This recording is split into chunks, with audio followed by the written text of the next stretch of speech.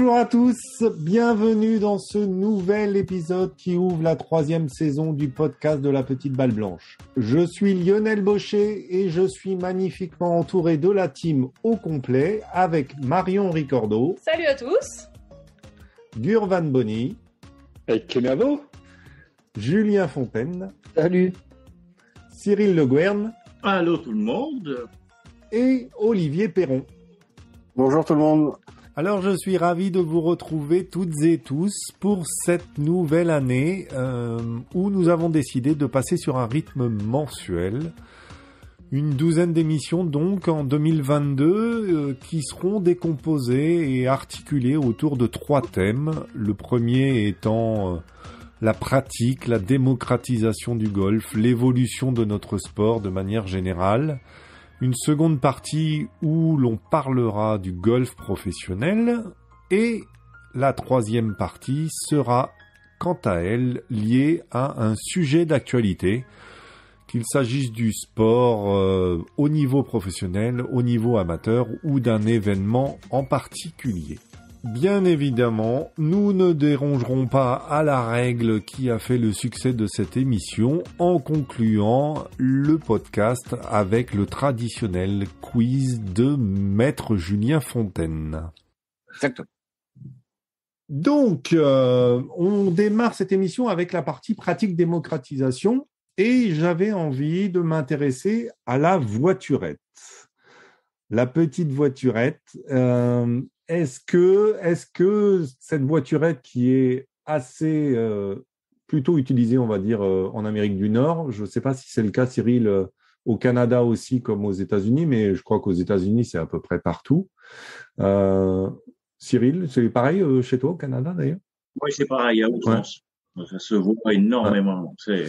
Alors, avec un peu quoi, ils mettent des chaînes et des trucs. Pour les bières. Ah. Alors que, alors qu'en Suède, euh, tu ne peux avoir une voiturette que sur présentation d'un certificat médical. Je te jure, c'est bon. Euh, il faut avoir une raison médicale, sauf, euh, sauf évidemment dans les dans les golfs un peu un peu élites. donc c'est un peu les les trois cas que l'on que, que, l'on va sur lequel on va débattre. c'est la voiturette, un équipement de luxe euh, une assistance contre les handicaps, quels qu'ils soient, on va dire euh, temporaires ou, ou, ou est-ce que ce serait pas aussi un atout pour accélérer le jeu, parce que on voit la pratique euh, en Amérique du Nord, pardon, qui bah, qui utilise la, voiturette à outrance, justement parce qu'il y a beaucoup de parties et pour pouvoir enchaîner les parties. Donc, est-ce que est-ce que vous déjà vous aimez ou pas jouer avec une voiturette? Grave. Grave. Alors, euh, moi, en gros, euh, alors, quand je veux jouer vite, donc la plupart du temps en fin de soirée pour essayer de turbiner, sur des parcours que je connais pas, en espérant que la voiturette que je vais payer probablement 40 balles, elle, ben, elle a éventuellement le petit écran GPS qui m'indique les positions, etc. Ce qui n'est pas toujours le cas. Mais en gros, moi, moi, j'adore ça. Enfin, je trouve que c'est déjà convivial. Et puis, euh, dans les, euh, dans les golfs où j'ai souvent joué euh, en voiturette, c'est aussi un super outil pour pouvoir voir euh, comment les parties circulent, parce que souvent les voiturettes sont équipées d'un GPS qui permet d'avoir pour, le, pour le, le, Marshall la localisation des GPS et voir éventuellement qui est en tort ou pas tort, plutôt que de se taper 18 trous pour essayer de voir qui est à la bourre. Donc moi, moi j'adore. Quoi. Alors évidemment, le, bon, l'handicap, bon, je m'appelle Gurman, c'est déjà pas mal comme handicap. Mais pour le reste, moi je suis vraiment, vraiment super fan de globalement de la voiturette. Ça m'empêche pas de faire des parcours à pied, mais dans des golfs du futur. Hein. C'est, Moi, j'ai jamais entendu parler de voiture GPS avec un mec qui regarde qui est en retard et tout. Oh là là, mais vous êtes dans quel monde à Paris là? Euh, en, Normandie, on fait ça aussi. Ouais, mais c'est le Nord, c'est l'an 2000. Et je, pense que dans le Sud-Est, ils doivent le faire aussi. Si tu vas, à mon avis, vers euh, Pont-de-Provence, Pont-Royal, Canmougin ou choses comme ça, voilà. C'est encore les cartes à essence. Alors, si tu demandes le GPS, euh, attends, attends. Attends, attends par un peu, là. Et moi, j'ai oublié de préciser de temps en temps, en gros, ça peut être bien parce que euh, les voiturettes peuvent être aussi équipées de, comment on appelle ça, de semences.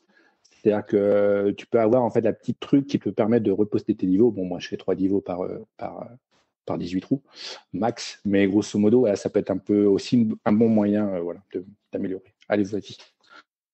Alors Lionel, on, ne va pas couper semence, hein, on va le garder, même si on dit plutôt semi en l'occurrence, mais on va le garder.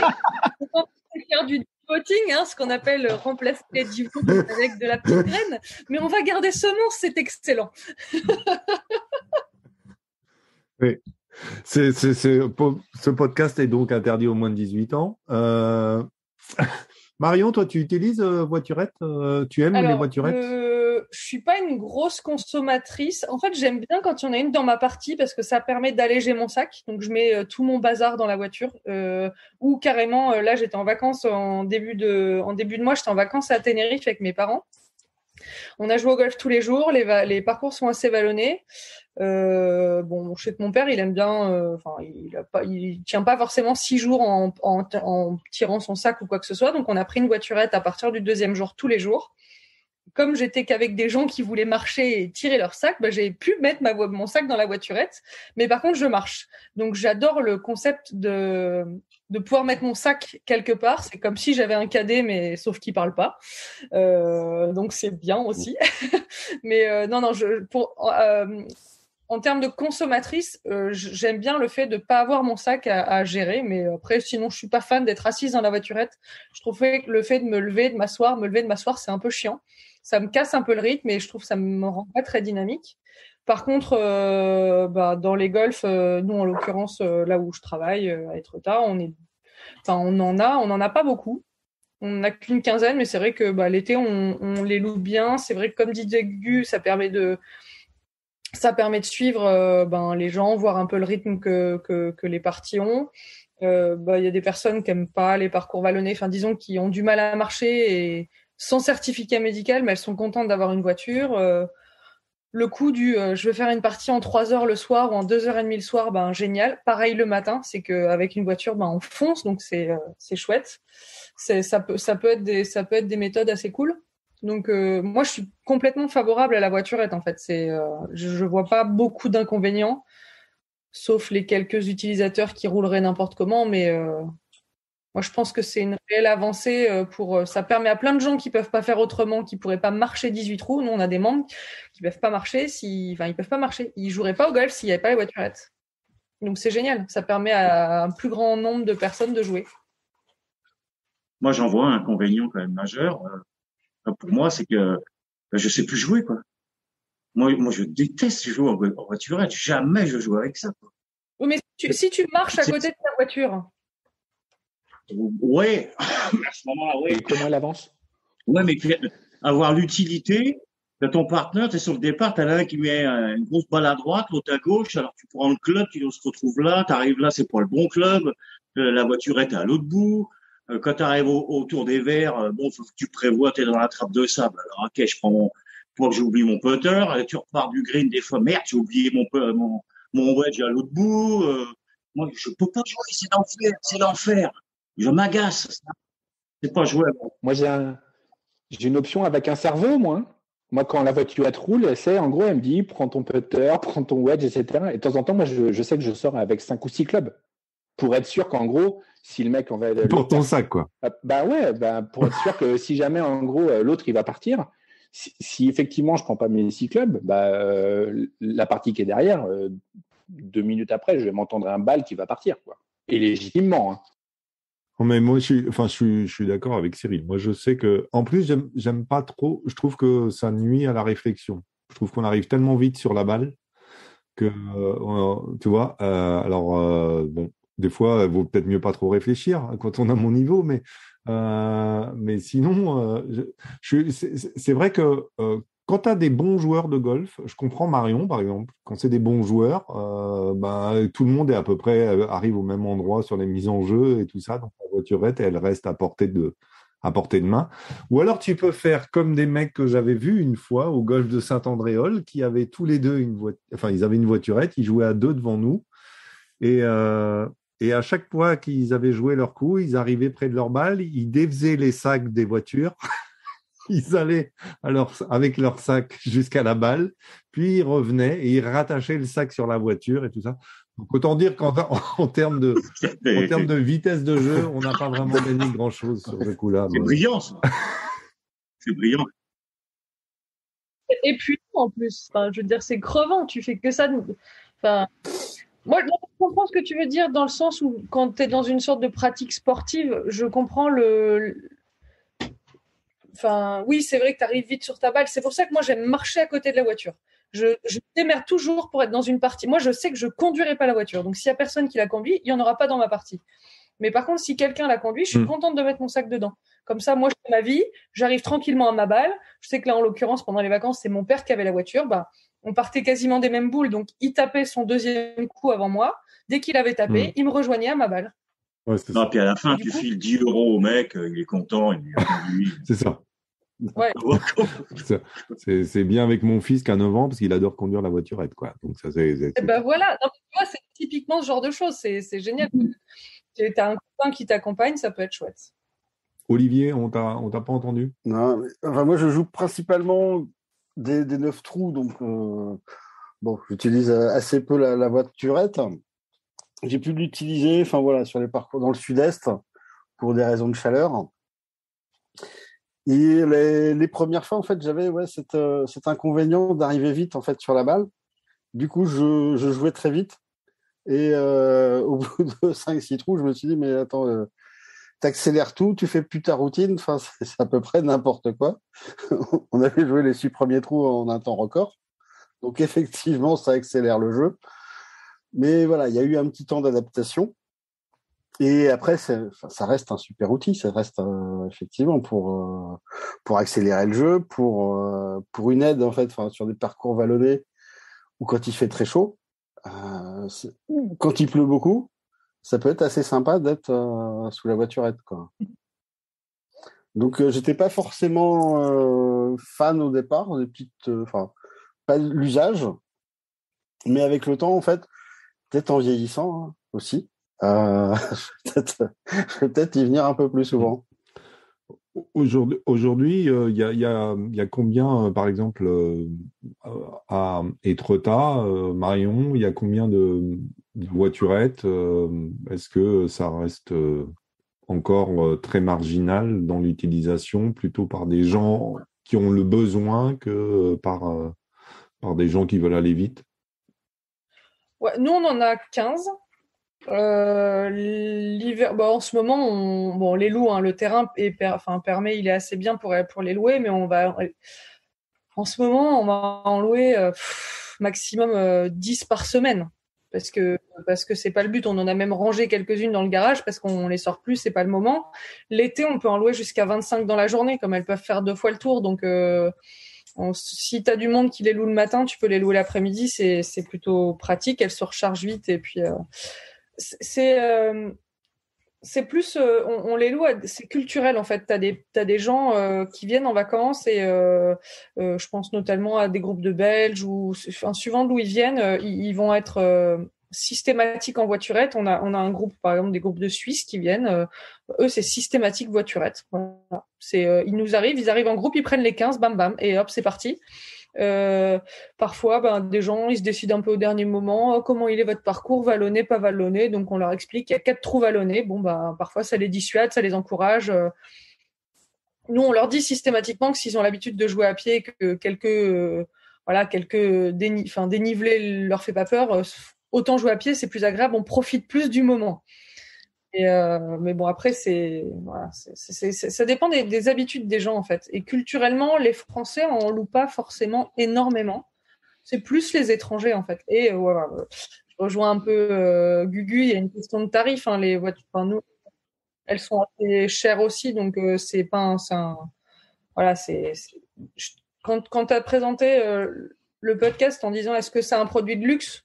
Oui, on n'en est pas loin. Enfin, je veux dire, quand tu payes entre 40 et 45 euros une voiturette, euh, c'est un produit de luxe. Enfin, c'est, c'est plus de 50% du prix de ton green fee. Donc, euh, à deux, t'en as pour plus de 200 balles un deux green fee et une voiturette, c'est cher. Cher. Après, chez nous, après, dans d'autres golfs, c'est encore plus cher, dans d'autres, c'est moins cher, peu importe, mais tu tournes autour de ça. Donc, si en plus tu te fais un déj, t'en as pour 250 balles la journée, t'es content. Mm.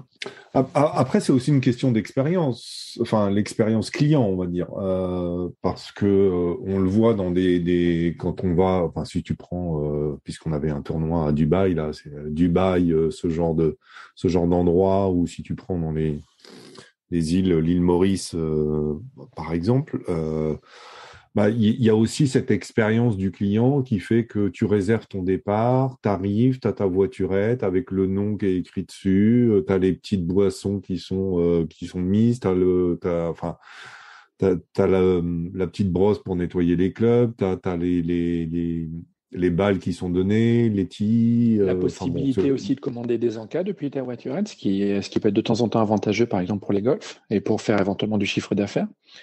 Après, ouais, c'est, après, c'est, voilà, c'est, c'est. Euh, comme, Mais t'as pas le choix quelque part. Tu prends un green fee et tu as automatiquement la voiturette. Donc, euh, est-ce que, mais bon, pour vous, ça reste quand même plutôt un, un produit de luxe euh, ou c'est quelque chose que vous aimeriez voir généraliser?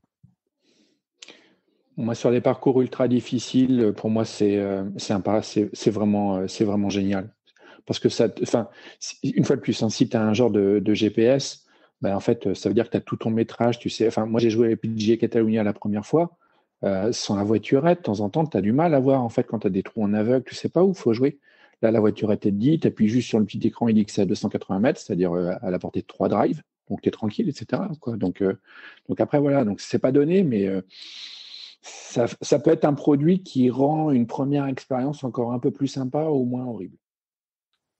Mais est-ce que ça, ça, renforce pas l'image euh, encore un peu plus du, golf qui n'est pas un sport Ouais, bah écoute, si les gens ils veulent venir avec moi un matin et moi je vais faire mon, mon 18 trous en 3 heures, ils vont voir.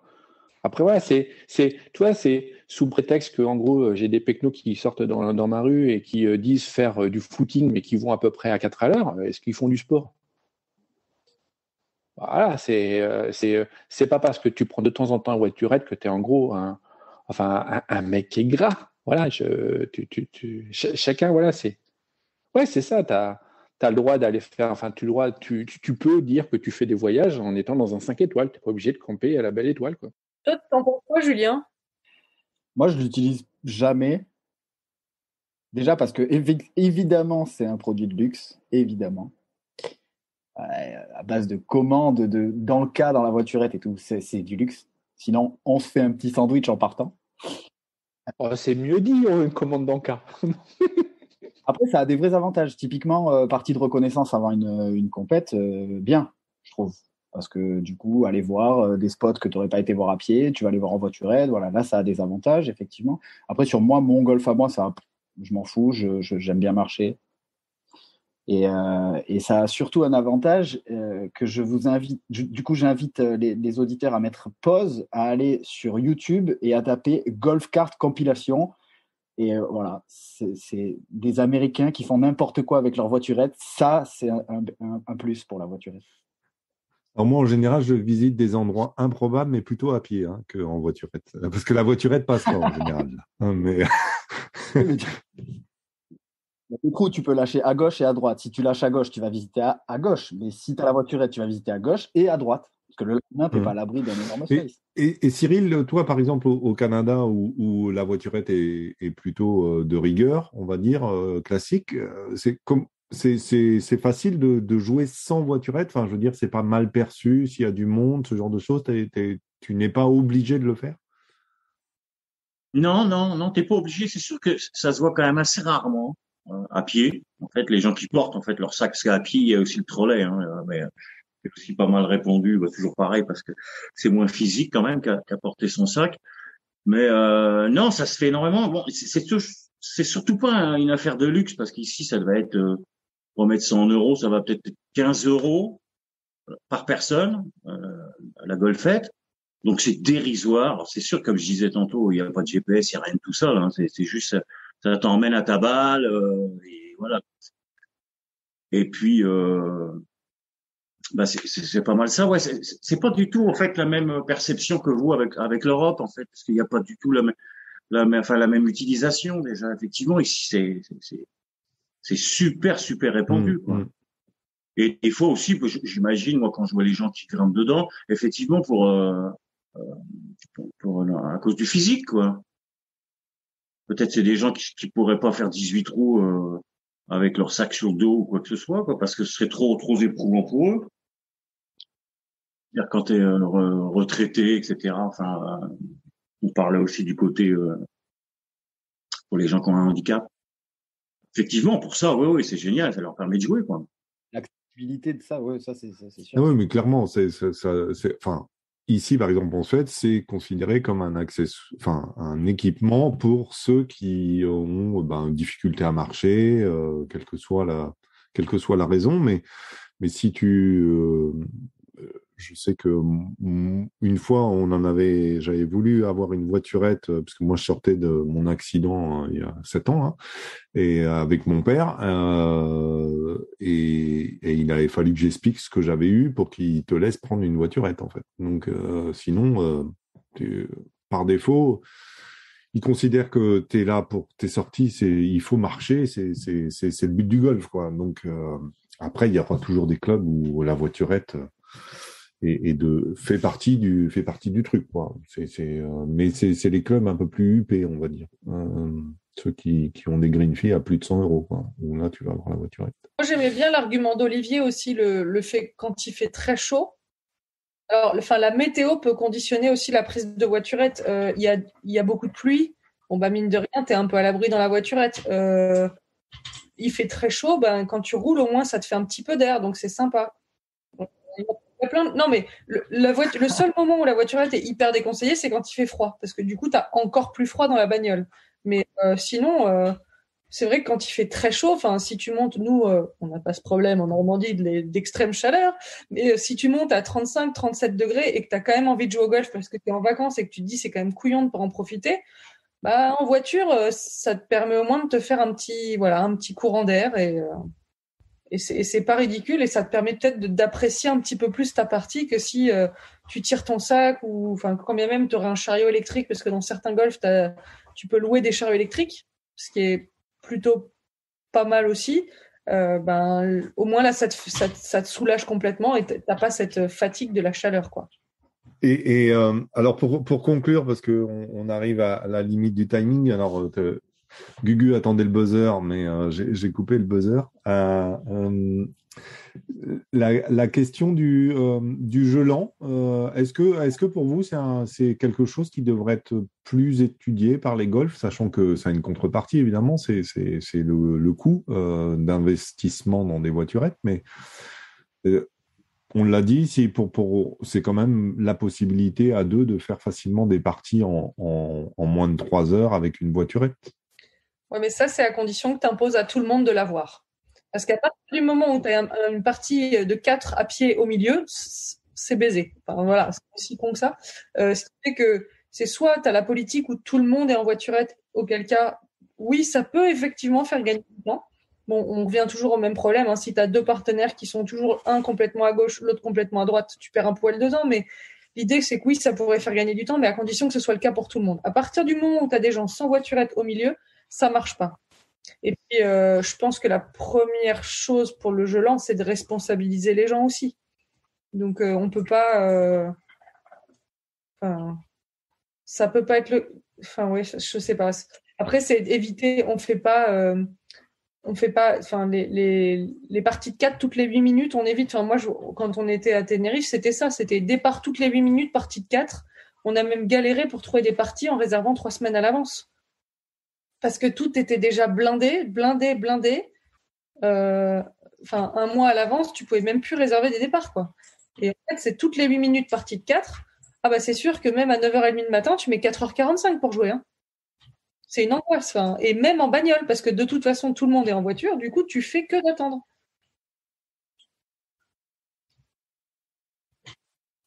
Donc le gelant, c'est encore un autre problème et ce sera pas résolu tant que dans des golfs, euh, enfin tant que certains golfs laisseront des gens qui sont, alors je, je juge pas le niveau de jeu des gens, mais nul dans le sens où des gens qui, euh, tiens, je suis en vacances, euh, si j'allais faire un golf, enfin nous, à aucun moment dans les golfs qu'on a fait à Tenerife, on nous a demandé notre handicap, quoi.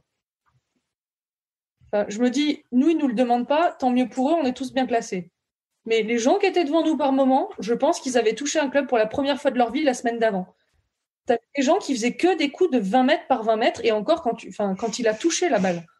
Et tu te retrouves derrière ces gens-là, et toi, tu te dis, bon, bah, oui, il fait beau, je profite, etc. Mais finalement, le jeu c'est la responsabilité des joueurs, mais aussi des golfs. Enfin, voilà, c'est. euh, et ça, ça peut pas être résolu grâce aux voiturettes.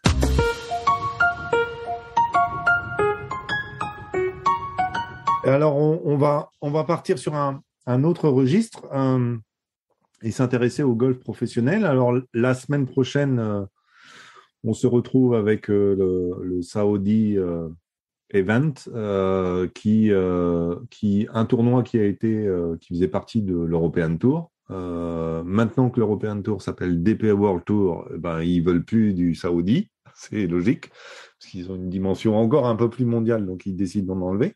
Euh, et euh, le Saudi Event devient un tournoi de l'Asian Tour euh, et un tournoi richement, richement doté. avec, avec du beau monde, puisque dans le, dans le champ de départ, on trouve euh, Bryson DeChambeau, Tony Fino, Tommy Fleetwood, Sergio Garcia, Dustin Johnson, euh, Phil Mickelson, Kevin Na, Victor Perez, Ian Poulter, Patrick Reed, euh, Xander Schauffele, Harold Barner The Third, Bubba Watson, Lee Westwood ou encore Matthew Wolf. Et ben il y a eu beaucoup de discussions autour de autour de ces joueurs qui ont voulu euh, participer à ce tournoi. Pourquoi? Parce que euh, y a beaucoup d'argent à la clé et que euh, et que ben ils ont été aussi euh, un peu grassement payés pour venir jouer le tournoi, donc ils sont aussi aussi motivés pour certains.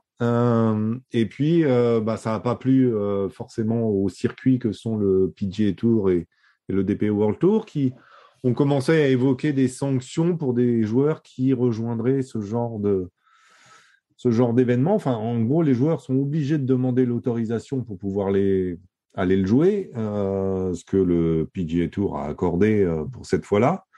Mais en sous-jacent, il y a la fameuse euh, ligue privée que voudrait lancer l'Arabie Saoudite. Euh, donc voilà, on va parler de ces événements ou de ces circuits parallèles qui se créent euh, avec euh, est-ce que les joueurs qui appartiennent à un circuit doivent être à ce point-là encadrés et autorisés à jouer là où ils veulent? Après tout, enfin, ce sont des grands garçons, ils font ce qu'ils veulent. Est-ce que vous comprenez euh, les, les, réticences du PGA Tour à les, à, les, à les laisser partir jouer comme ça et, éventuellement les sanctionner euh, sur, euh, sur le fait qu'ils participent à d'autres événements? Cyril? Moi, tout à fait. Oh, je suis tout à fait d'accord avec avec le, commissionnaire du PGA, moi. Ouais, 100% derrière lui. Il faut et sanctionner et enfin, sanctionner, ça, pas l'empêcher. Si le gars veut y aller, qu'il y aille, mais qu'il sache qu'effectivement c'est ça. Tu pourras plus revenir chez nous. Tout à fait d'accord avec ça. et, et pourquoi, euh, pourquoi il serait... euh, Ben, c'est un choix, c'est un choix à faire. Quoi. Il leur donne le choix. Hein. euh, comme, comme, comme dans tout, j'ai te dire, comme dans la vie, comme on regarde. Sinon, ouais, non, je pense que c'est trop facile, sinon. C'est le cas déjà sur le LPGA, en tout cas quand, euh, quand je jouais la basse, en fait quand tu euh, le cas se posait pour les, joueuses les, asiatiques qui pouvaient à la fois jouer euh, sur le LPGA et en Corée ou sur d'autres tournois du circuit asiatique. En fait, elles devaient demander des dérogations pour occasionnellement aller jouer des tournois. Par exemple, imaginons c'est ton sponsor titre qu'organise un tournoi en Corée en tant que coréenne. Bon bah c'est un peu délicat de pas y aller. Mais pour y aller, elle devait demander une dérogation au LPGA, fallait l'obtenir. Euh, et ensuite, tu avais le droit à une ou deux dérogations par an. Mais parce qu'en fait, le LPG, enfin, le LPG, l'idée, c'était à la fois de se protéger, parce qu'en fait, si euh, bah, toutes les semaines, euh, elles ont, euh, bah, im- imaginons toutes les semaines, tu as tes cinq meilleures joueuses coréennes qui se barrent et qui vont faire un tournoi. Et puis après, bah, pourquoi pas les européennes qui vont faire pareil euh, dans leur pays. Ce qui fait que tu vas te retrouver avec un champ de joueurs moins bon. Et c'est ce qui se passe en l'occurrence là. Après, tu peux te dire, ben, j'en accorde cinq par semaine, etc.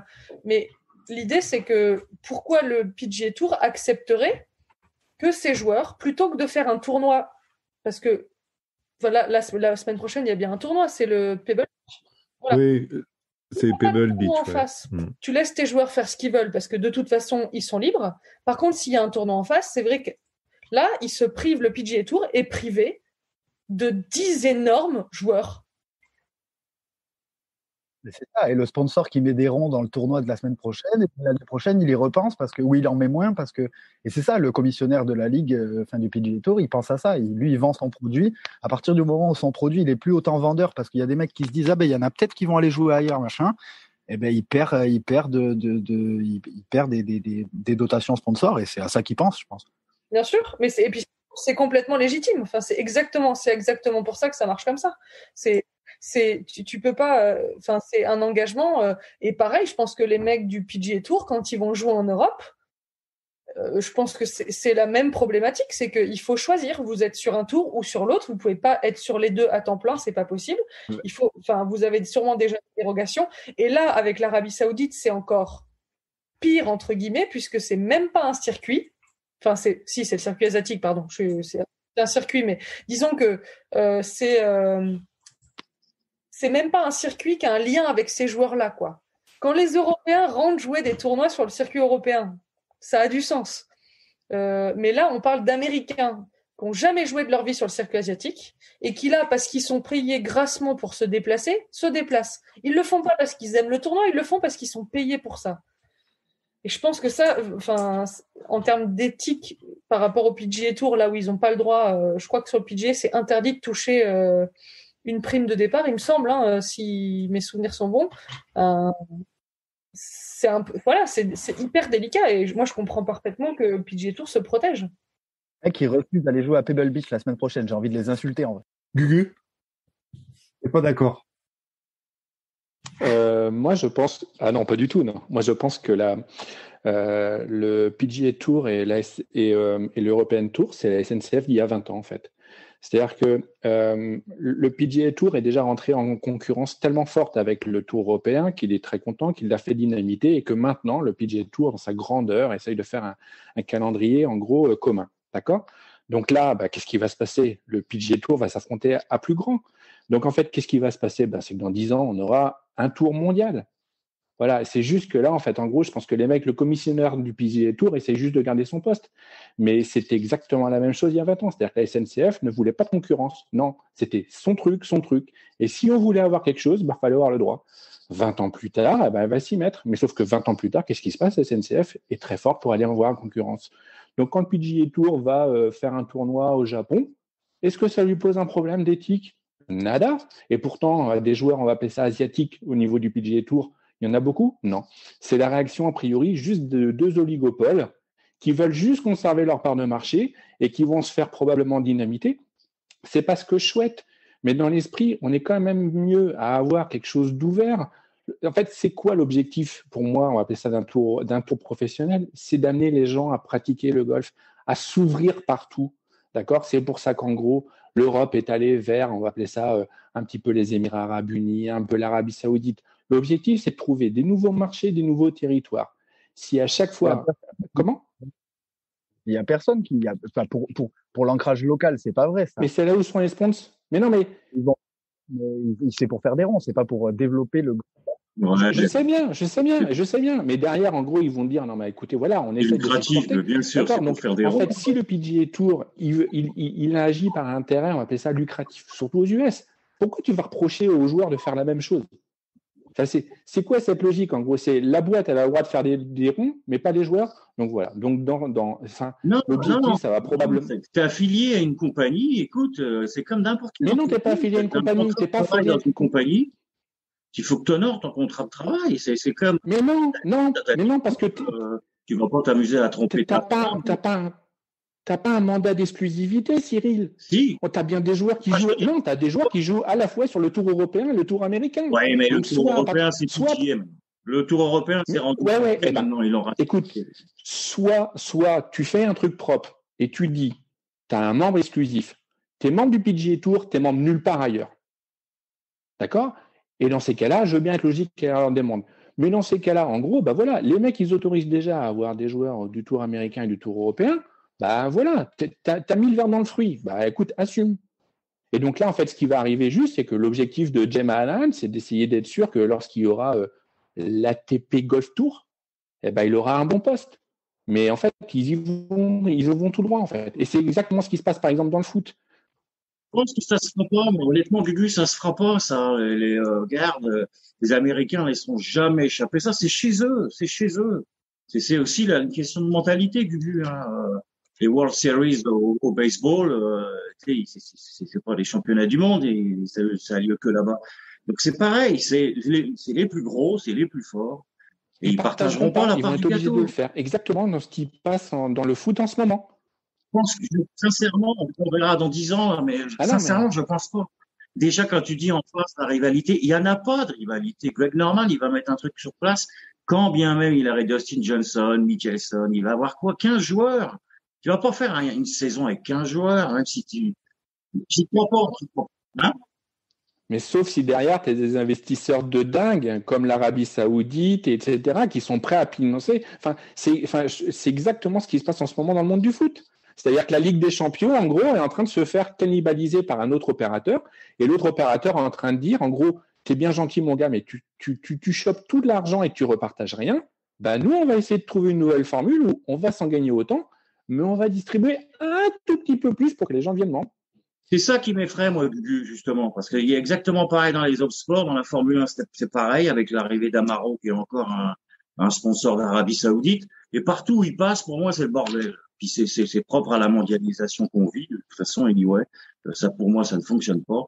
Et, euh, et, et ça fera la même merde que, que dans tous ces sports, que le foot qui ont été pourris par... euh, Mais alors, euh, je, je pose une question d'un truc euh, que, enfin, pour lequel je suis vraiment pas convaincu, hein, parce que s'il y a une autre ligue, euh, enfin, ça, ça, me- chante pas.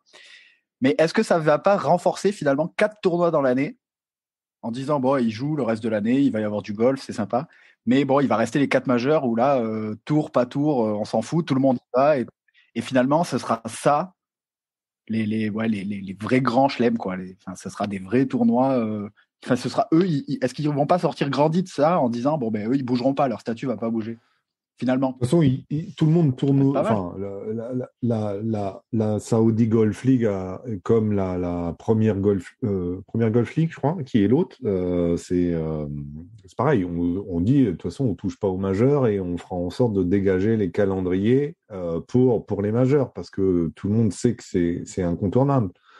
Euh, parce que ça reste, comme tu dis, euh, Juju, les, les quatre euh, les quatre événements. euh, un- incontournable du golf aujourd'hui. Enfin, je veux dire, si, tu si tu demandes, euh, voilà, euh, aux gens euh, avec le avec le Masters et The Open qui vont être largement cités. Olivier, on t'a pas on t'a pas entendu? Euh, je voulais réagir après sur la question de est-ce que c'est une ligue fermée ou pas? Parce que si ça fait partie du circuit asiatique, donc tu as des points mondiaux qui vont être attribués. Si c'est une ligue fermée, il peut y avoir des sanctions par la non-attribution de points mondiaux. Donc des joueurs pourraient être sanctionnés. Et après, c'est effectivement très très complexe, mais le alors le casting est aussi assez étonnant entre euh, entre des jeunes en fait, hein, je vais dire mercenaires qui vont parce que le chèque est intéressant. On est entre des jeunes mercenaires et puis euh, un peu des gloires vieillissantes, hein. Ouais, c'est des mecs qui gagnent pas un tournoi qui vont. un peu pré-retraités quoi, euh, ou, ou préparation du senior tour quoi. Ils préparent le senior tour, voilà. Donc, donc après l'intérêt de, de regarder ça, et, voilà, est entre ces deux catégories de, de joueurs, et puis la, le, la majorité du champ qui va être des, des, des joueurs du, asiatiques. Et puis j'étais d'accord avec, euh, avec Juju sur les majors. Parce que qu'est-ce qui fait rêver, enfin, au golf, qu'est-ce qui va faire rêver les jeunes? Qu'est-ce qui donne envie de jouer? Euh, C'est c'est d'aller jouer le Masters, c'est d'aller d'aller jouer le British, euh, d'aller jouer l'US Open. C'est pas d'aller jouer le Saudi. Non, mais l'objectif, enfin, ça reste, ça va être fait comme l'ATP. Tu auras tes grands chelems, les ATP 1000, les ATP 500. Il n'est pas, une question, en gros, de dévaloriser euh, tel ou tel truc. Je vais pas dire que jouer l'Open de France doit être le Graal pour tout joueur. Il, est hors de question de dire ça, mais, mais à un moment ou à un autre, en fait, soit tu prétends être le libéralisme et tu t'appelles PGA Tour, et dans ces cas-là, en fait, l'idée d'avoir un tour mondial où, grosso modo, chacun y trouve sa thune, et où tu n'es plus en friction, on va appeler ça les uns contre les autres, mais tu essayes de faire quelque chose de cohérent, bah, ça peut sembler plus intelligent que se dire euh, PGA Tour, euh, voilà. Après, euh, enfin, voilà, c'est, je, vous trouve particulièrement, on va appeler ça, enfin voilà, des, des, anciennes légendes, des mecs de deuxième couteau, enfin, ok, soit, mais il me semble que les gens qui jouent sur le PGA Tour sont aussi des mercenaires que ceux qui vont jouer en Arabie Saoudite, me semble-t-il. Les price money chaque semaine ne semblent pas Enfin, c'est pas le SMIC hein, qu'on gagne, je crois, sur le PGA Tour chaque semaine, il me semble. Hein. oui, mais, sur le PGA, ils ont leur, ils ont leur carte. Ils ont passé leur carte. ils ont leur carte, mais oui, mais et, enfin, ils sont pas invités. Ils sont pas invités. Tommy Fleetwood, Tommy Fleetwood aussi. Hein. Enfin, grosso modo, il a bien sa carte. Il a, il a le droit de faire un petit peu ce qu'il veut quand même de sa vie, non? Il a le droit de gagner. Non, mais dans ces cas-là, enfin, euh, enfin, moi, en fait, ce qui me fait peur, en gros, oui, c'est la SNCF, quoi. C'est-à-dire qu'on a l'impression d'avoir, en gros, euh, bah, des mecs qui disent si, si, le PG Tour n'est pas content, bah, c'est bon. Tu, dis à Tommy Fleetwood, plus jamais tu reviens chez nous. Et c'est clair. Mais ils ne le feront pas. Je, comprends le principe, mais qu'est-ce qui, qu'est-ce y a d'intéressant dans ce qu'ils proposent en fait? Moi, la question, elle est là. C'est qu'est-ce que ça amène de plus au golf? Moi, ça va avoir un, tour cohérent. Pour toi, qu'est-ce que ça va amener de plus d'avoir un, un circuit de plus, quoi? Non, pour moi, en fait, moi, je veux pas un circuit de plus. Je pense que c'est, on va vers un ATP Tour. Ouais. Et qu'on ait un circuit mondial. Et le fait d'avoir. Mais c'est déjà le cas, non? Le PGA Tour, c'est déjà ça. Ben non, rigole pas. Euh, Victor Pérez, quand il était 50e mondial, ou Will Zatoris, quand il était 40e euh, mondial, il n'était pas membre du PGA Tour je ne trouve pas normal qu'un gars qui soit 40e ou 50e mondial ne puisse pas prétendre à être du PGA Tour alors qu'il est du 40e ou 50e mondial. Et qu'il y ait un système de ligue. Ouais, mais ça, c'est des problèmes de, règles, de, de, de, règlement chez eux. Effectivement, tout le monde a, mis le doigt là-dessus. Tout le monde est d'accord avec toi là-dessus. À partir du moment où tu as un système mondial, D'accord? Et donc, il n'y a plus que le PGA Tour. Il n'y a plus le PGA Tour. Il y a un système mondial qui va dire que, par exemple, cette année, cette semaine, ça sera les 50 premiers mondiaux qui participeront. Que tu sois membre de Petauschnok, du Golf de Blue Green de 51 Detroit ou du PGA Tour, on s'en fout. Tu es 50e mondial, tu participes. Tu n'as pas besoin d'appartenir à la C'est le principe des WGC. Euh, oui, moi je veux ça toute l'année. Je ne veux pas juste avoir un système qui, grosso modo. Il y en a quatre, c'est génial déjà. À chaque fois, ça fait des beaux tournois. Bon, il y en a, il y en a qui sont match mais en tout cas, euh, ouais, ouais, je. Mais non, mais je te parle pas du WGC. Les WGC, c'est encore un truc à part. Moi, je voudrais que sur l'année, on ait un système qui permette à un joueur professionnel d'aller jouer où est-ce qu'il veut sans, sans avoir la contrainte d'être membre à un tour. Après, on met un système dans le try list, voilà, on prend les 150 premiers qui se présentent, comme on fait d'habitude, et c'est parfait et ça roule. Et le joueur professionnel, il ira jouer son ATP 1000, 2000, 5000 ou, ou 200 parce qu'il n'aura pas le niveau. Mais juste, il n'y a pas une notion de contrainte en disant, ah ben écoute, mon petit loulou, tu as été 15e euh, ou 20e sur le Tour européen, manque de bol, tu n'as pas assez joué sur le PGA Tour, donc tu ne peux pas prétendre, donc il faut passer par le Grand Ferry Tour ou avoir un membership spécial qui va pas t'autoriser. Voilà, ça pour moi, ça s'appelle du communisme. Et donc, euh, tu n'es pas, pas pour la création de ligue, tu es juste pour la création d'une ligue universelle, quoi. C'est-à-dire que pas, qui, qui s'appelle, euh, peu importe ce qui s'appelle, mais que quelque part. ATP Tour. Oui, enfin, euh, là, c'est au tennis. Et ça ne peut pas arriver, ça ne peut pas arriver tant qu'il n'y aura pas des concurrents au PGA Tour, parce que tant que le PGA Tour sera oligopolistique, et d'autant plus qu'il a pris euh, l'European Tour, mais il, s'en fout maintenant. Il fait, en fait, en gros, il fait des doigts à peu près à tout le monde en disant, non, non, non, c'est moi qui gère tout. Donc ta gueule. Et ça, ça, ça peut, ça, je, ne vois pas comment ça peut marcher. C'est-à-dire qu'à un moment ou à un autre, euh, ben, le problème, en fait, c'est que le PGA Tour édicte des règles à des membres, qui, à des joueurs qui sont membres chez lui, Et il va, et, en fait, il va réussir à pointer du doigt les joueurs qui sont des gros méchants, euh, des deuxièmes couteaux, des mecs qui n'ont jamais gagné pour pouvoir aller jouer en Arabie Saoudite, alors qu'après tout, c'est quand même leur droit, quoi. Enfin, c'est, enfin, c'est des salariés, ils ont le droit de le faire, quoi. Donc, soit l'année prochaine, le PGA Tour agit et réagit en fonction et dit tous les mecs qui ont été, c'était une fois et plus jamais. Et dans ces cas-là, ok, moi je suis toujours contre, hein. mais au moins c'est clair. Ou alors en gros, c'est juste, on va appeler ça euh, une parade, histoire de dire on est les meilleurs, on est les, enfin voilà, et c'est nous qui décidons. L'année dernière qui a été, pas cette année, basta.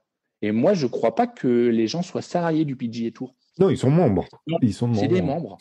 Bon, voilà. Écoute, mais déjà en euh, cours, apparemment, j'avais lu un truc là-dessus et, euh, et c'est le problème qu'aura euh, Monahan, enfin le, commissionnaire, c'est que il pourra pas, il pourra pas légalement, euh, il peut pas, il peut pas interdire les joueurs de guerre. Si tu vas, tu vas jouer en Arabie Saoudite, enfin sur un, tour de dissident, euh, tu pourras pas revenir.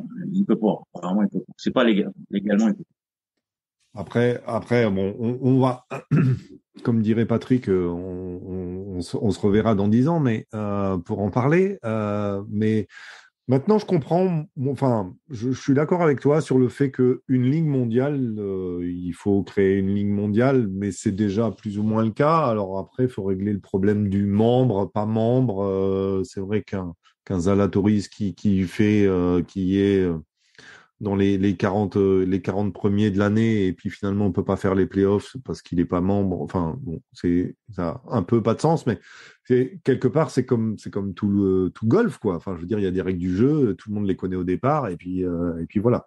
Bah, la règle du jeu sur le PGA Tour c'est qu'ils sont pas le droit ils, ils sont pas non plus obligés d'être des cons absolus en t'interdisant de jouer ailleurs.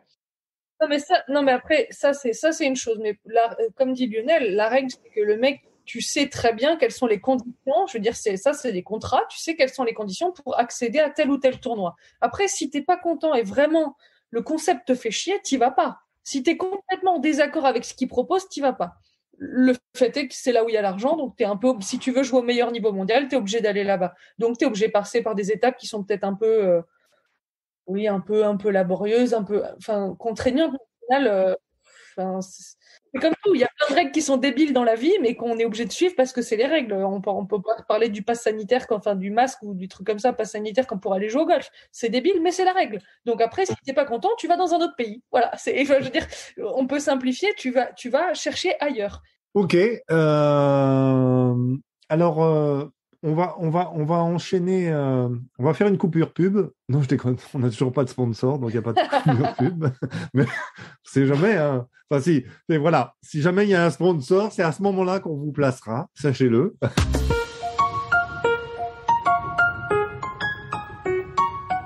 on va enchaîner avec une, la, question euh, d'actualité, la, dernière partie euh, du podcast sur l'actualité. Et le, le PGA Tour et Netflix sont tombés d'accord pour, euh, pour produire une série euh, qui va arriver sur les écrans en 2023, c'est-à-dire que cette saison 2022 va être filmée euh, par les caméras de Netflix.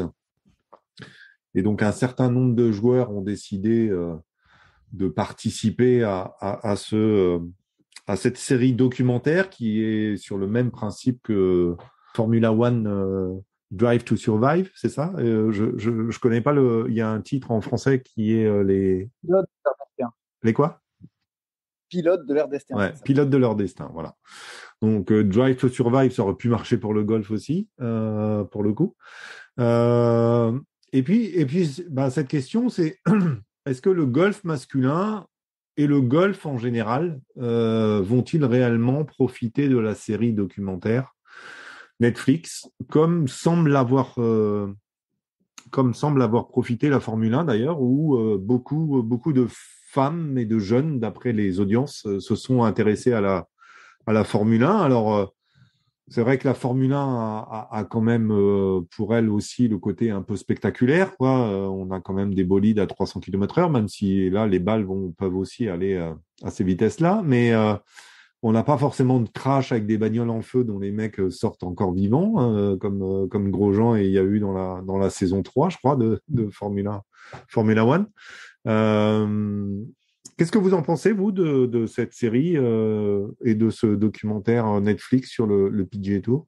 Encore le PGA Tour? Euh, Moi, j'aime bien l'idée. moi j'aime bien l'idée, très honnêtement. Euh, ouais, j'ai adoré euh, celle sur la Formule 1 de, Netflix déjà. Mais euh, je, doute qu'il y, ait le même impact que ça a pu avoir avec justement les épisodes sur la Formule 1, le golf. Et, pour ça, justement, j'ai hâte de voir parce que ouais, comment aller amener un truc vraiment super tripant à regarder quand t'es pas passionné avec du golf. Mais est-ce que ça va Est-ce que la question c'est est-ce que ça intéresse Je pense que les fans de golf vont être intéressés. Ça c'est clair puisque ce qu'ils te promettent surtout c'est l'envers du décor, c'est-à-dire de, savoir un peu les, discussions qu'il peut y avoir euh, entre caddie et joueur, entre euh, entre coach, et, euh, coach et joueur aussi. Enfin, par exemple, de, ce qui est ce qui est capable de dire le coach d'un joueur avant le dernier tour et, voir l'impact que ça peut avoir. Enfin bon. Mais est-ce que c'est capable d'intéresser au-delà du, du, du, golfeur? Parce que c'est ce qu'a réussi en fait la Formule 1, c'est que ça a été ça a intéressé au-delà des, des, passionnés de, de Formule 1 et d'automobile. vu. il y a trois ans, je pense, ou il y a quatre ans, la Formule 1, ils étaient en crise. Hein. Euh, je ne sais pas ce qu'il en était aux États-Unis, mais, euh, mais en, Europe, grosso modo, euh, difficulté de trouver des audiences, un changement d'actionnaire. Et, après, en gros, ça veut dire que d'un sport qui nécessitait en gros l'endormissement il y a peu, parce qu'il y avait à peu près quatre dépassements sur un Grand Prix, ils ont réussi à, à enlever la partie sportive pour mettre un aléa un peu plus hors sport, enfin, hors, je sais pas hors sport, mais enfin, on, est moins intéressé par le résultat de la course que par ce qui se passe aux, alentours. D'accord? Si les gars, euh, les réalisateurs et, tous les scripts ont euh, la capacité de rendre le sport plus intéressant, alors il n'y a pas de raison que ça puisse se limiter, on va appeler ça juste aux personnes intéressées euh, par le golf, parce qu'il y a trois ans, si tu avais demandé, tu regarderas un jour un documentaire sur la Formule 1, tu diras, pour dormir? Peut-être. Pour autre chose? Non. Le, le, le, documentaire Netflix, il a participé à sortir la F1 de son marasme qu'elle avait depuis quelques années, mais ça n'a pas commencé avec Netflix, ça avait commencé avant déjà. Oh. C'est depuis que les, les, repreneurs américains, après ça c'est un truc en plus euh, qui est arrivé à point nommé pour eux, mais ça, ça, avait déjà un peu commencé avant, parce que des dépassements euh, sur les, les, années qui viennent de passer, on n'en a pas eu non plus des masses. Euh. Non, mais c'est vrai qu'il y avait une, il y a, il y a, enfin, il y a une dynamique effectivement dans, dans rendre le sport un peu plus entertainment, quoi. Et, et, là, je mmh. pense que ça peut aller dans cette, dans cette chose-là. Après, voilà, bah, il va falloir trouver les bons clients et, et espérer qu'au cours des nombreux tournois euh, du PGA Tour, euh, bah, il puisse y avoir quelques petites anecdotes à raconter pour appeler ça, faire un petit peu le buzz. Les têtes d'affiche sont pas mal alléchantes quand même. Hein. Ouais, ouais, il y a, y, a, y a, du bon monde dans ceux qui ont signé. Alors, euh, ça, ça, va plus vite de signer, de dire ceux qui n'ont pas, qui ont pas dit oui en fait, euh, parce que un peu tout le monde a dit oui, à part euh, à part, il manque McIlroy, il manque de Chambeau, euh, et euh, et? Il n'y a pas Reed. Et il n'y a pas Reed, c'est vrai. Euh, Mais ils n'ont pas demandé. A... Ouais, c'est ça. il, il, a dit oui pourtant Reed, mais personne ne lui a demandé. Olivier, toi, tu, tu regardais euh, Formula One euh... Non, j'ai pas regardé, mais je pense que ça fait partie, enfin voilà, de tous les reportages, de tous les documentaires qui sont faits, enfin voilà, à l'intérieur des groupes, à l'intérieur des différentes équipes. On avait connu ça, voilà, pour les plus anciens avec euh, la Coupe du Monde euh, dans les yeux des Bleus en 98. après, là, c'est aussi avec la force de frappe de Netflix qui permet de toucher un public aussi plus jeune. Euh, qui et je pense qu'il y aura un intérêt, enfin qui ça va aller au-delà du public euh, habituel du golf, hein, parce que mmh. euh, ils savent, enfin ils savent scénariser, ils savent mettre de l'intérêt, enfin dans leur dans les reportages. Mmh. Donc j'ai pas de doute là-dessus. Après, euh, faut pas oublier, enfin le sport, enfin voilà, le golf, enfin tous les sports progressent aussi grâce à des champions immenses, des dimanches champions. Euh, le basket euh, avec Michael Jordan. Euh, au, au, golf en Europe, on a eu Ballesteros. Euh, après, il y a Tiger Woods. Télé ou pas télé, enfin, c'est ces légendes-là en fait qui font qui font vraiment avancer les sports. Mmh. Donc c'est c'est un appui qui est très très intéressant. Mais voilà, dans la limite, des, des joueurs et du, des niveaux qui, qui existent actuellement. Quoi. Ouais, parce que sur le plan golfique, on a quand même des noms sympas. Euh, au niveau charismatique, euh, bon, c'est pas non plus euh, des fois les plus. Enfin, je sais pas si, si on prend Abraham Anser, euh, Berger, Fitzpatrick, Fleetwood, on peut pas dire que c'est des mecs qui, qui soient délire tout le temps. Alors de bon, de temps en temps, t'as- je pense des Max Homa par exemple qui peuvent être. Euh, un- Enfin, s'il est un, un peu dans la vie comme il est sur Twitter, euh, ça peut toujours être sympa. Euh, mais Mais après, ils sont peut-être différents aussi en dehors du, du, du parcours. euh, les voir différemment. euh. c'est ça, c'est ça. C'est aussi un moyen de les voir différemment, quoi. Euh,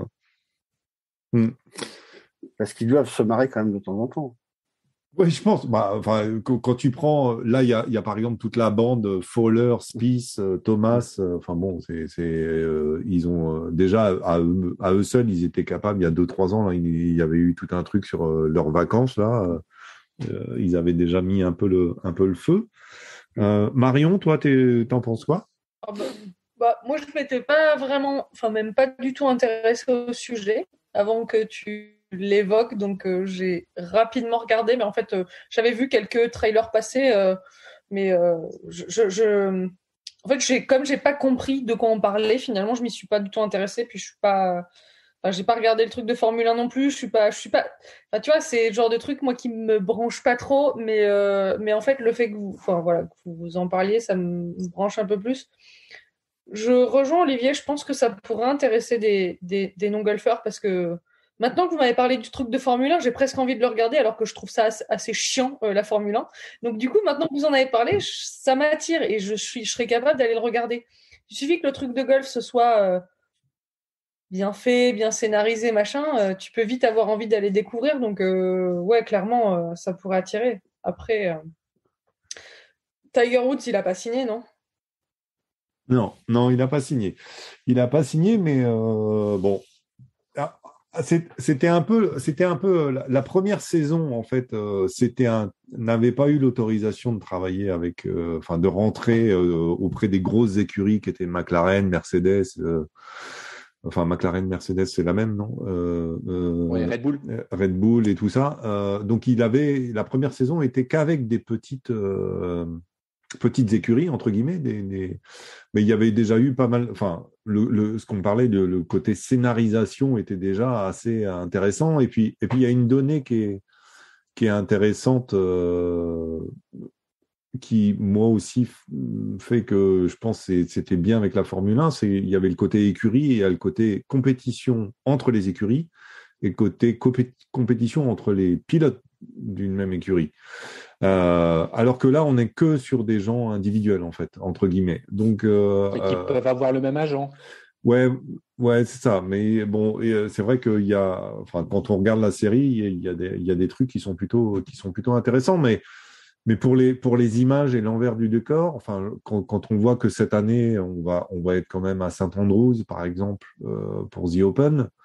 Euh, donc, euh, ça veut dire que Netflix va pouvoir être là-bas. Enfin, c'est, un peu ce que, disent Netflix, c'est que ça va être l'occasion de voir des lieux de manière euh, un peu différente. Euh, et, euh, et on connaît, on connaît tous les trous du parcours. Par contre, au-delà de ça, peut-être que ça peut offrir des images plutôt intéressantes pour les, fans de golf, encore une fois.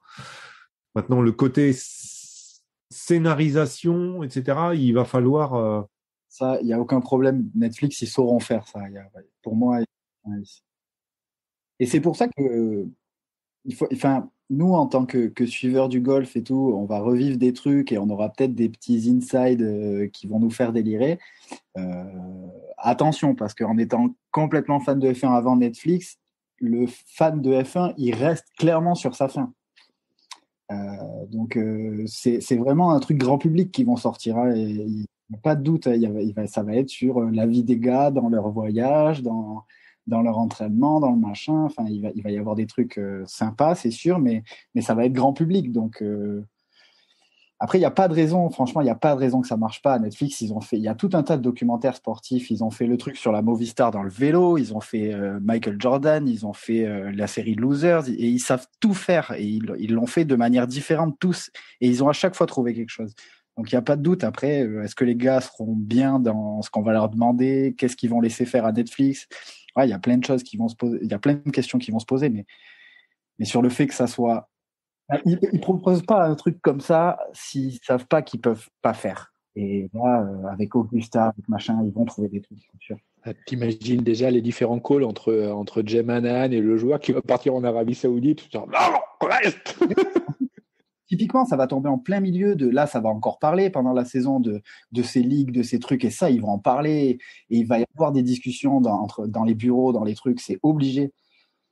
Donc, euh, Ouais, parce qu'ils ont, ils ont aussi accès à, ces, à, ces, à, à toutes les instances. quoi. C'est ça qui est aussi euh, sympa. Il n'y a pas que les joueurs et les tournois et tout ça. Il y a aussi les instances.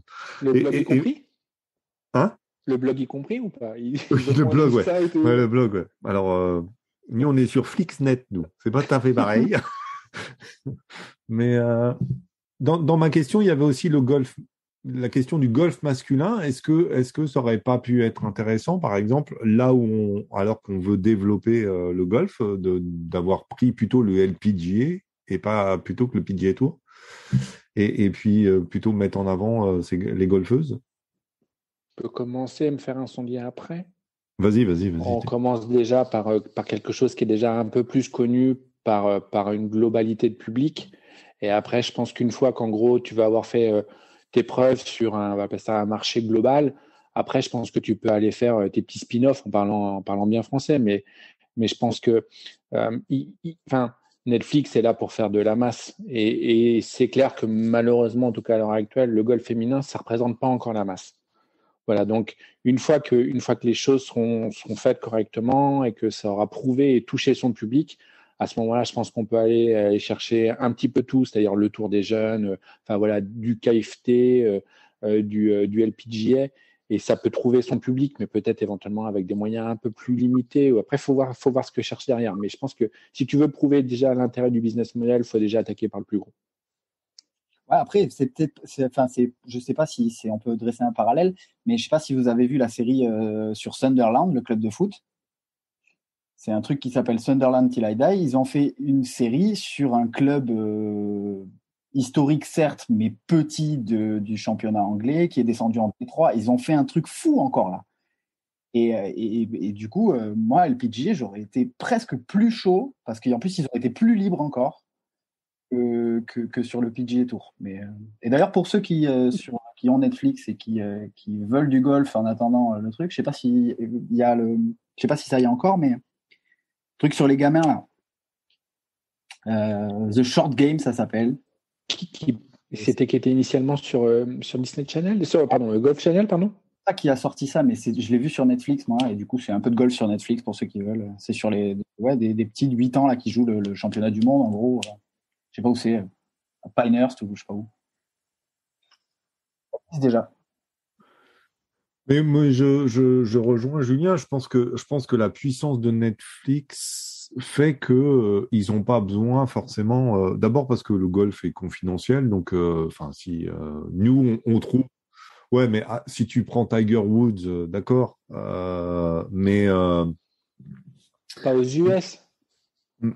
Oui aux US, mais enfin, Mais c'est quand même, c'est- quand enfin, pas- l'Amérique du Nord, c'est quand même le marché, euh, marché quand même monumental de Netflix, même si ça se développe. oui, mais le, le LPGA marche globalement bien aux US aussi. Ouais, mais Euh, Euh, là, il y avait, euh, il y avait NFL en même temps que le, que le golf. Bon, ils ont décalé le golf. hein. Hmm. Donc, c'est pas confidentiel, effectivement, mais c'est pas non plus euh, le foot US. Non. Et sachant que le Super Bowl, c'est même pas là. Je pensais que c'était à cause vu. du Super Bowl, mais c'est pas encore le Super Bowl, c'est juste les finales de conférence, quoi. C'est ça Ok.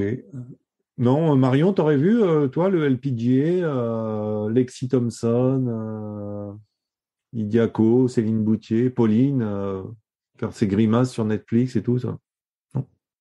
Auraient pu faire un épisode de 35 minutes sur Daniel Kang qui tape un putt et je sais pas si on l'aurait vu.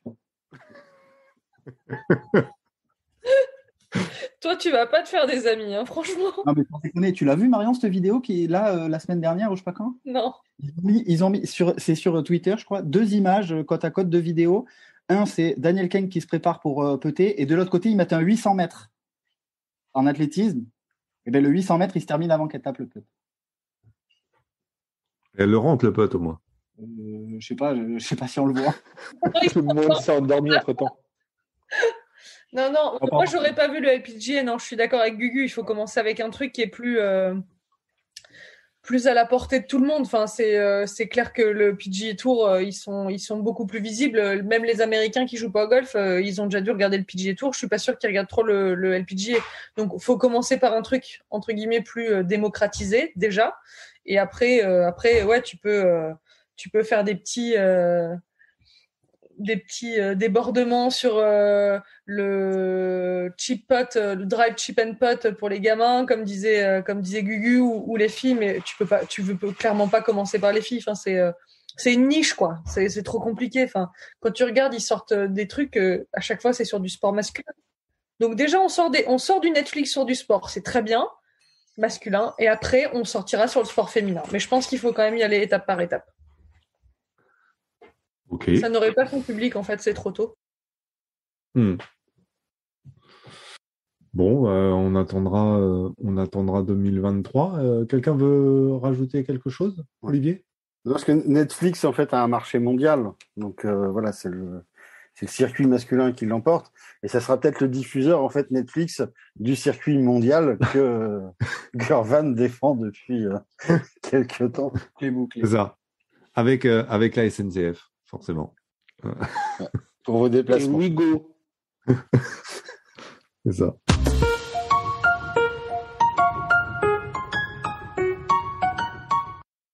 On va, on va conclure, euh, on va conclure le podcast avec, euh, avec le petit quiz de maître Julien. Julien, bah, je te laisse la parole.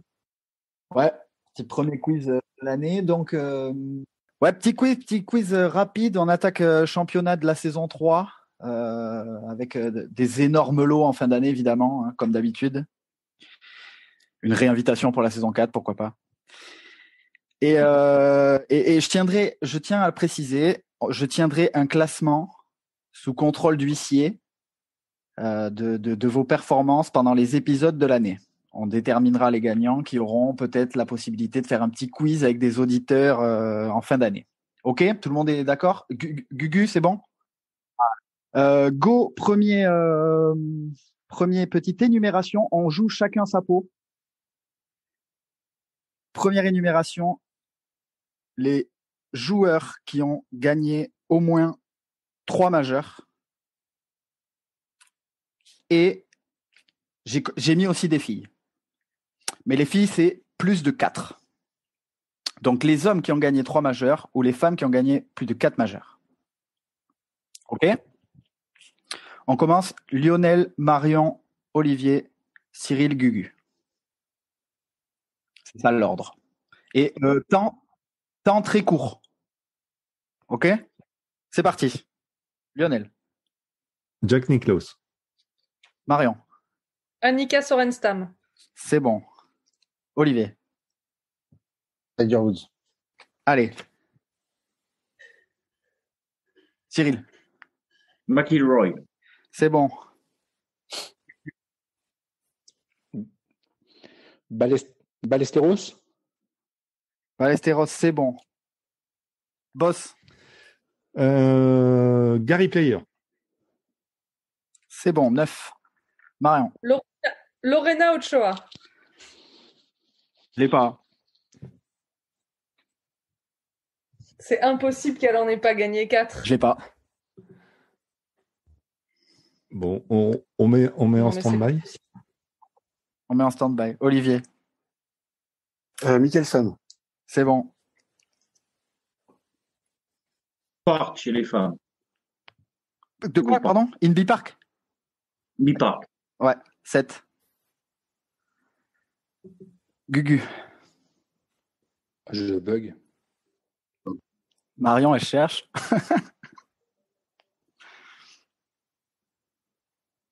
Non, non, a priori, euh, elle, a priori, elle en a gagné que 2. Ouais. Oh, Je Gugu bug. Euh, bah, passe suivant. Perdu. Lionel, Euh, Carrie Webb. euh, Carrie Webb, oui, oui, oui, je l'ai quelque part. Oui. 7 aussi. Ouf. Bon, du coup, tu as perdu, Marion. Donc, je passe à Olivier direct. Ah oui, oui. Jordan. Oui Tu as gagné l'épreuve, bravo. Ah, moi, j'ai pas. ah, J'étais sorti, moi? Non, Ouais. non, non, t'es pas sorti, mais c'est juste parce qu'il a dit Smith, pardon. Et il n'a pas changé, hein. C'est Jordan Smith toujours, hein. Vas-y, Cyril. Euh, Pour le coup, c'est à moi. Bah. Brooks Koepka Ouais, 4. Lionel, Non, toi, tu. je suis parti. Ah, t'es déjà éliminé Ah, pardon. Ah ouais, mais non, mais ça rigole plus, là, cette année. Euh, oula, ça commence. euh, Nick Faldo. Oui. 5, je crois. Je sais pas où il est. Non, 6. Olivier.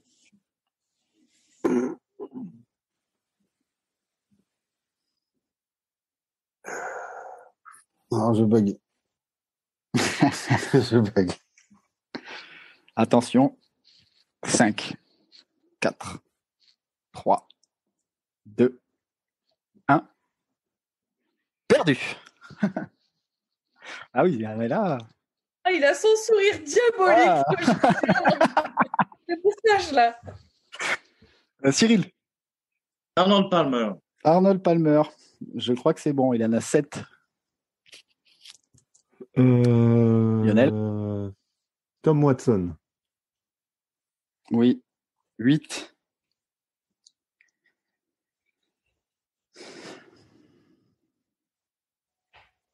Attention.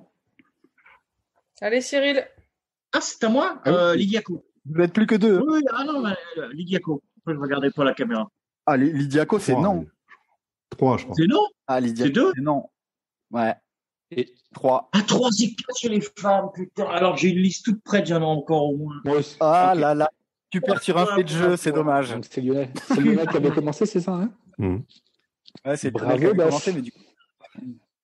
Bravo. Oh, Er- Bravo. Lio. Ernie, Erniel, c'était bon, Erniel Erniel, Erniel c'était bon. Vijay Singh, Padre Garrington, VJC, je l'ai, tout ça. Monsieur Et Price, Jean Van de Velde. Non, pardon. Monsieur Taylor, Monsieur, Treni, Monsieur Trevido, Monsieur Sned, et puis après, chez les femmes, il y en avait encore, ouais, Série Pack, Yannick, Yannick Tseng.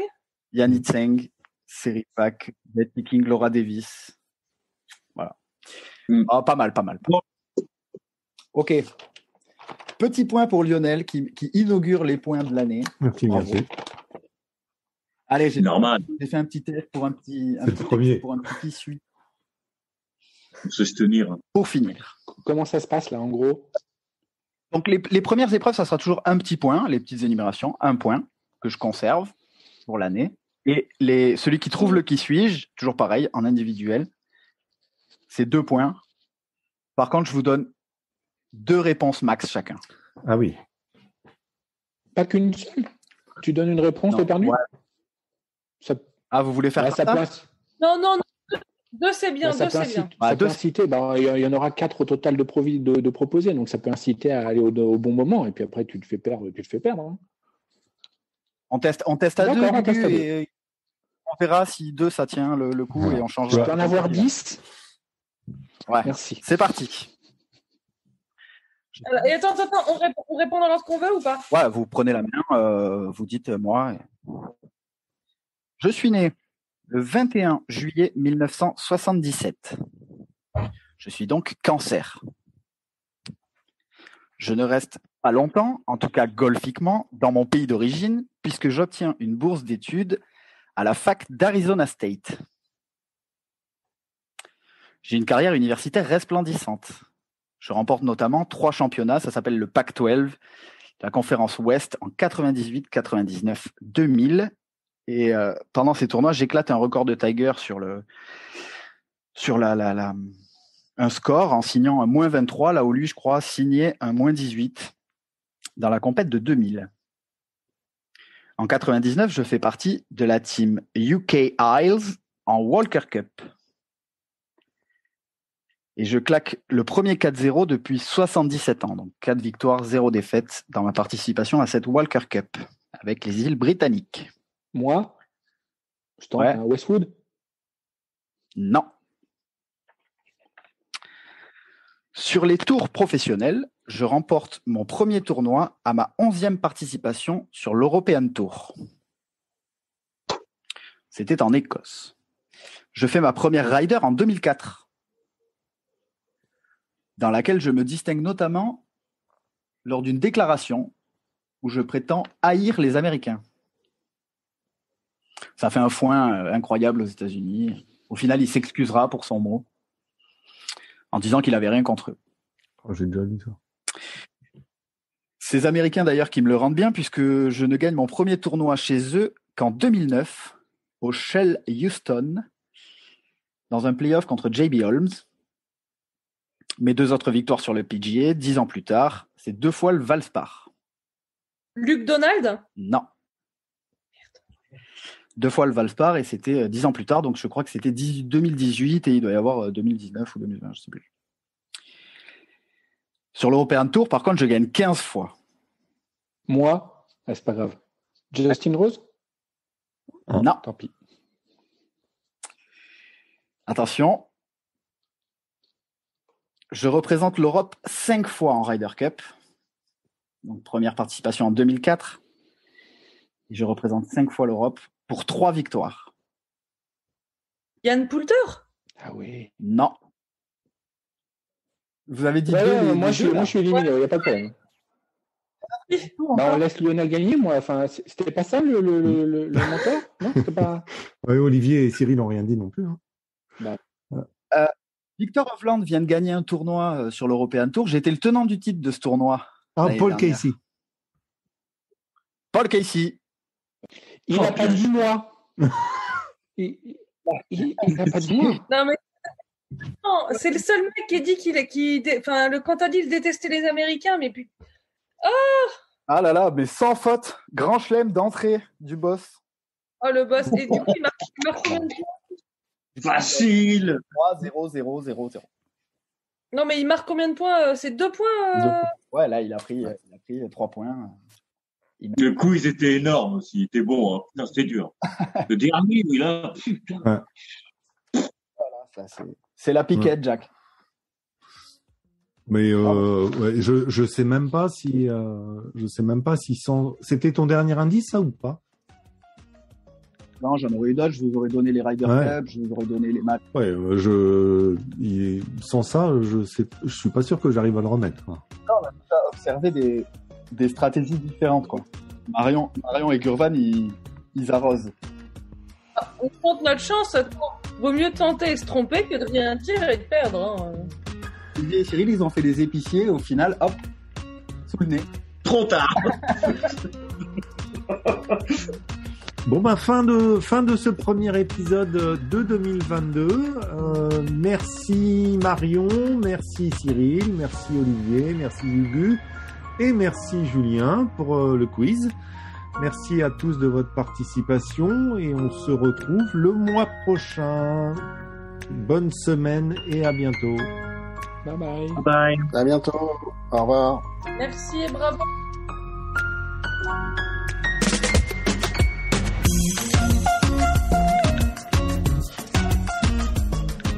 Merci à toutes et tous de votre écoute. Je tenais à créditer la musique utilisée dans ce podcast. Le titre est Anita Latina du groupe Le Gang. Vous pourrez retrouver toutes les informations concernant la musique et les prochains épisodes sur notre adresse lepodcastgolf.petiteballeblanche.com. À très bientôt.